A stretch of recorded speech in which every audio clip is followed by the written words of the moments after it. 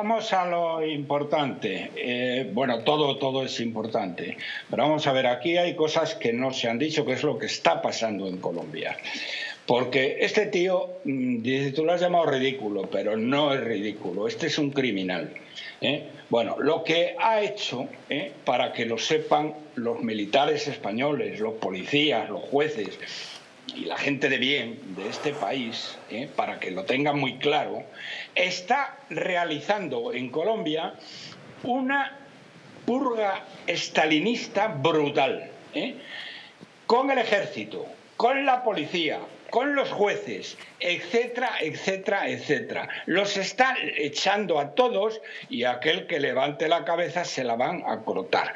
Es decir, están instalando a toda velocidad un régimen de terror ¿eh? como el que se ha implantado en Venezuela. Pero al fin y al cabo, el que se implantó en Venezuela ¿eh? tardaron años en hacerlo y había un general ¿eh? al frente que mandaba mucho, que era Chávez, y que supongo que estará... Un comandante, comandante.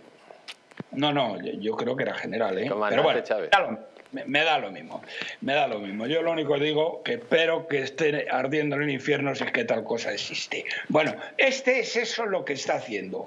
Pero, y con esto termino, bueno, es que sus fines ¿eh? y lo que pretende hacer es lo que pretende hacer en España ¿eh? el señor Sánchez y el señor Iglesias pretenden exactamente lo mismo.